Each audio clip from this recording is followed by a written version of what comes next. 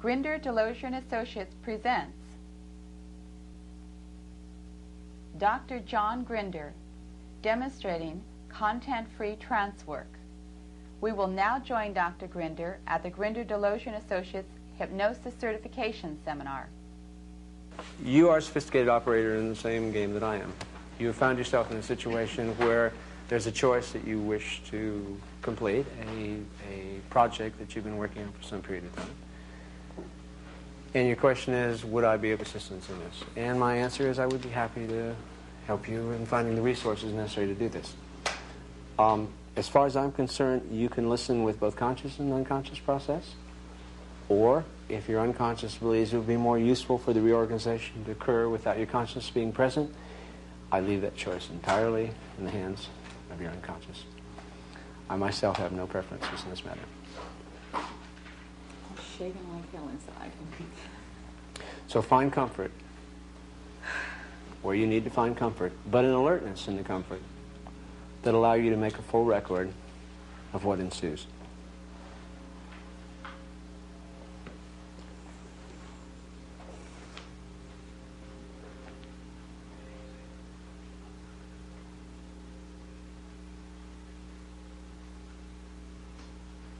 All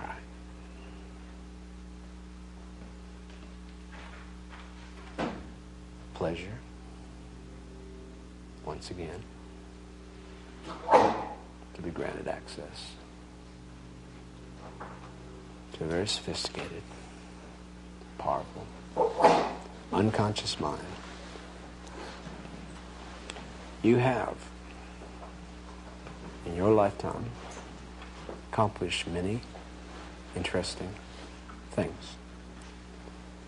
You've requested me assistance in completing a project which you have been occupied with for some period of time. It is obvious to me that you have the resources necessary. The issue becomes at what price? Early in your personal history, you had an experience of completing a project much like the one you're occupied with now, but it was at a great personal cost it was a project that while at points may have been inherently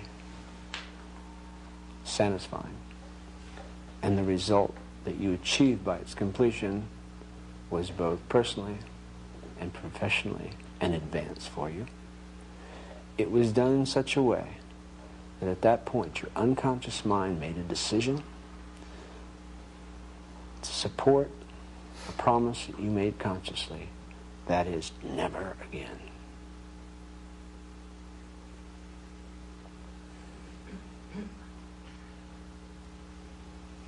I want you to consider of all the women that you know, who best could serve as a model for how to release a child once the child has grown to the point where they are autonomous and you have offered them all you have to offer, recognizing that they come at some point to have a life of their own. The fact that you offered them experiences you used all the resources that you could muster during their upbringing in such a fashion that you gave to them what at that point in time you had to give. It's not a statement that they represent what you're able to do now, but that as of the time and the place, that you came to recognize their autonomy and let them fly free. That was the best you were able to muster at that point. Your hope as a parent is always that you gave them enough that they will go well beyond what it is that they achieved at the point that he released them. When a carpenter creates a cabinet, the cabinet does not represent the carpenter. It only represents what the carpenter is able to produce at that point in his development as a carpenter. The carpenter releases this product to the world with the hopes it will be recognized as a fine, crafted piece of work, but that it does not represent any longer than the point at which he releases it what he's capable of at that point in time. I spent a year at Rockefeller University as a guest research investigator. Had the good fortune to work with a man named Paul Postal. Postal was the leading syntactician in the field that I was graduate student in. Together we wrote a series of papers. The night before we were to submit the major paper to the major journal, I stayed up all night searching to discover if I could find counterexamples to the particular work that we had done together.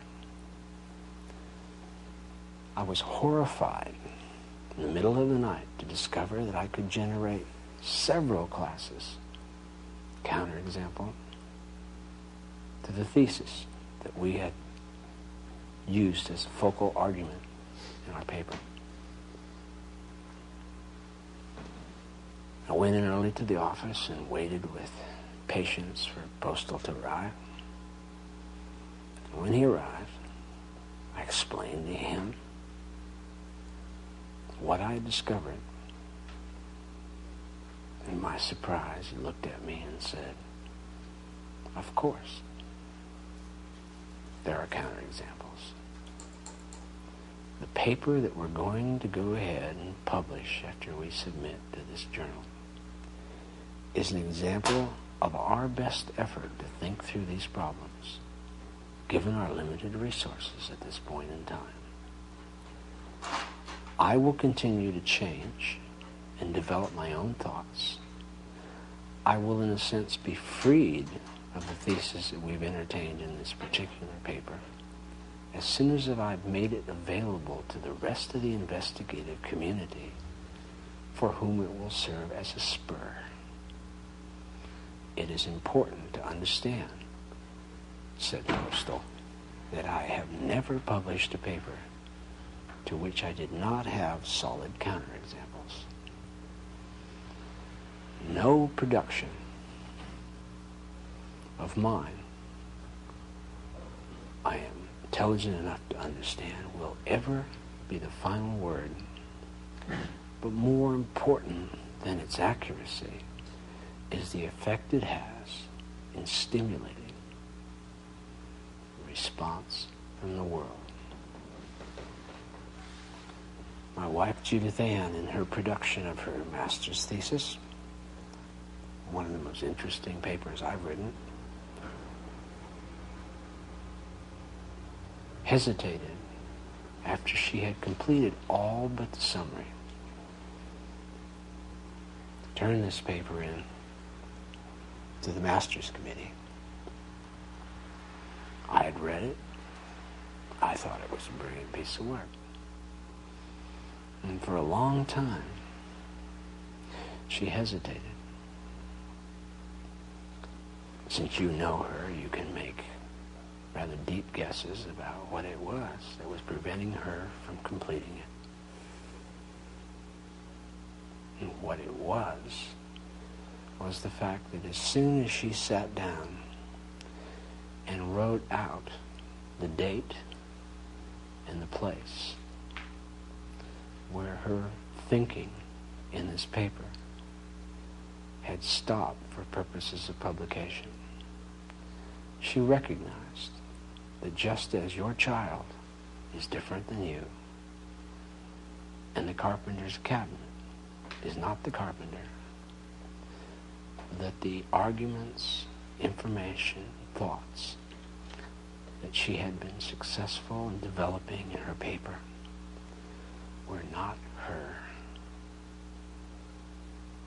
They were simply a way of stimulating from the world a class of responses which included responses not only of respect and admiration, but responses which would force her to continue to develop her own thoughts far beyond those that she had noted in that paper.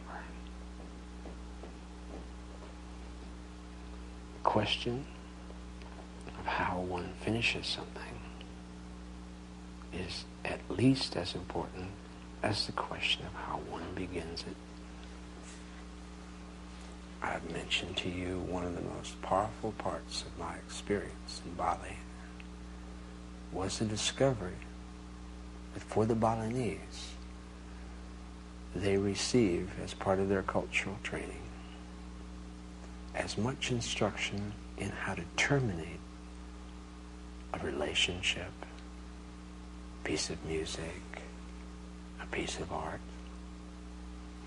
as they are taught to initiate. The question of finishing things is as well studied there as it is the beginning of things. When I was spending a lot of time with the man who we both found to be such a powerful influence in our lives, Dr. Erickson, I would each time I left him secure a commitment from him by presupposition that we would again meet. I was reluctant to leave his presence until I had received a congruent agreement from him that we would meet again. The importance of this was to reassure myself that I could go further and would have access to his genius again. In my own life, I've discovered that I cannot complete a project until I have selected my next target. To complete a project without a succeeding challenge being available is ridiculous. Not only is it ridiculous, it's very, very hard to do. The words on the page, the paint on the canvas, the movement of a dancer's body, the sound of an instrument used with subtlety and power, the elegance of an athlete, smoothness of such movement are but momentary frozen glimpses of a longer process. Some famous man from China once said, life is a journey of 10,000 leagues. But the wise person understands that it's complete at each step.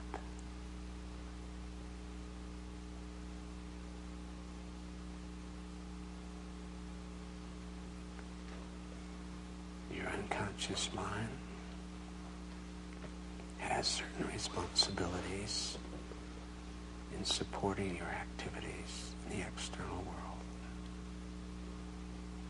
It knows better than I what specific arrangements need to be made to allow you to move to the next steps.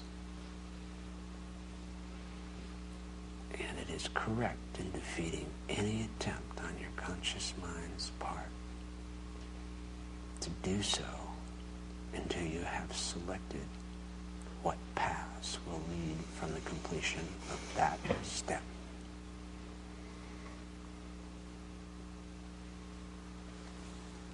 Would be interested in having your unconscious mind spend a few moments in considering the proposals, both overt and covert, which have been made, and then indicate by a honest movement of your right hand for a yes and your left for a no, whether it has found what it considers to be an equitable solution which allows a continuation of your journey of creativity.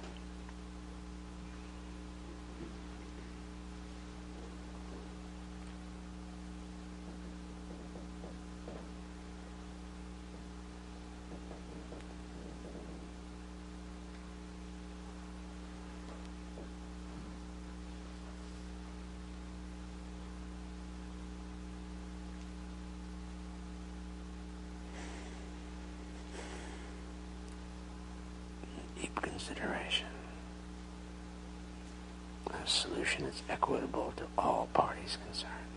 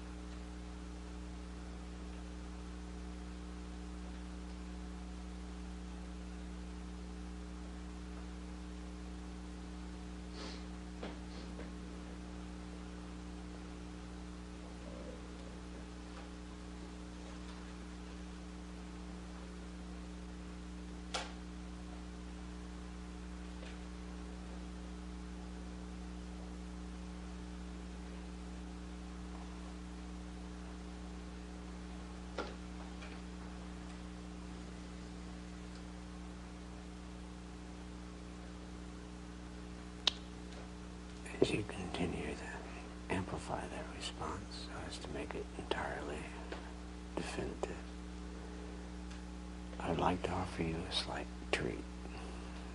This should be entertainment to you, but entertainment that enhances rather than interferes with the important process you're engaged in now. And that is you've heard my suggestions and proposals and metaphors in response to what you requested.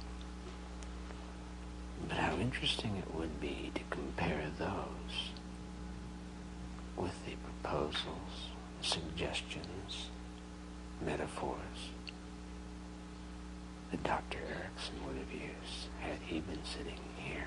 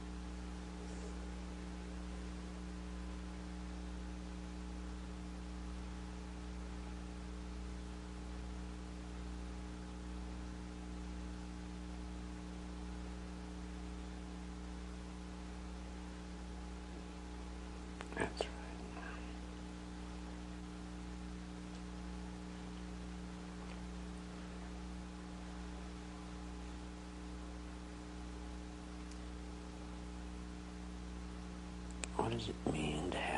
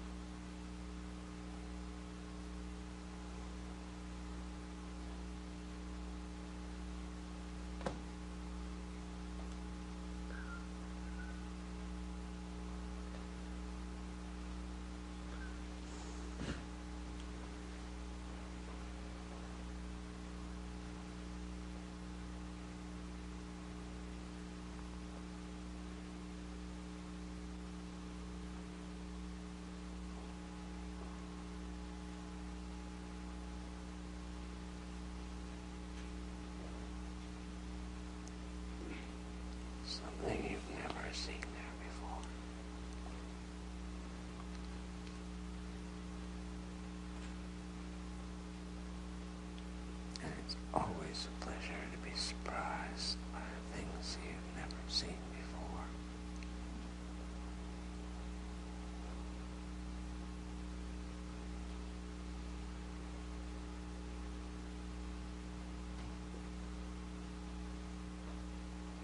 You find the damnedest things in the damnedest places. Is it?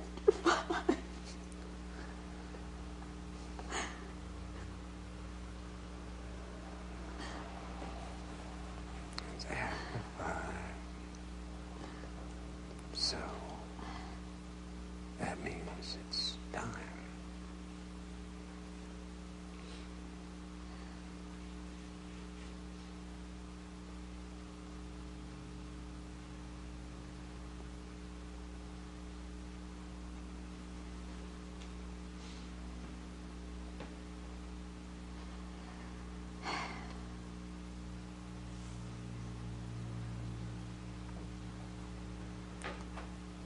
There it is.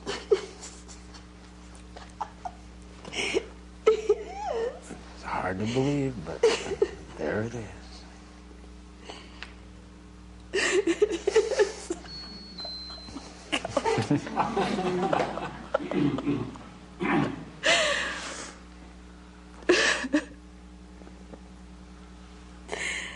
It's right there, John. You see it? I see enough of it.